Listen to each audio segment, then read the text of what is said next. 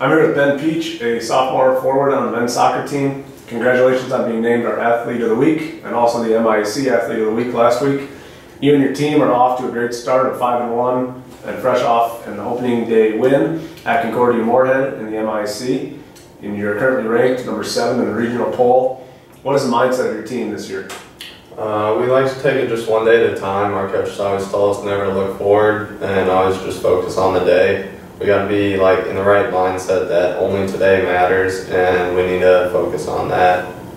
He told us like never to get too high or never too low, so we just try to stick with that and focus on what's at hand. What has it been like being a sophomore this year and having one year under your belt?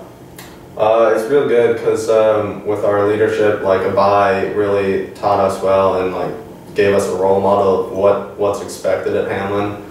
So uh, with that and our incoming freshmen, we know how to like stand as role models for them, and they've came in and made a huge impact for our team, and it's really helping us out. So. How has last season's success carried into the way you and your teammates have gone about things this year?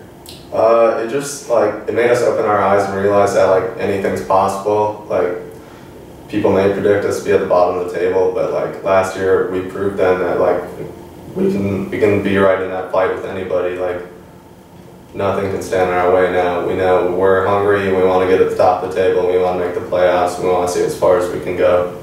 Great. Well, good luck uh, this Saturday. Thank you very much.